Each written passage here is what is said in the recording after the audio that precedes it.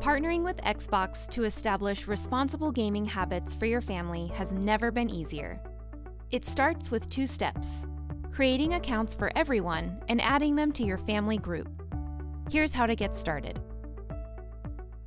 How to set up a family on Xbox and Windows 10 devices. First, create yourself an Xbox profile using your Xbox One and make sure you set up a passkey. This will create a Microsoft account for you as well if you don't already have one.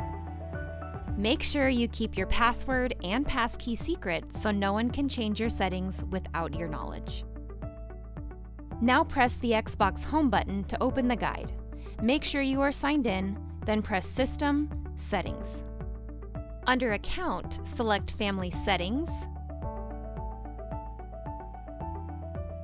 select Manage Family Members, Add to Family, and choose Add New.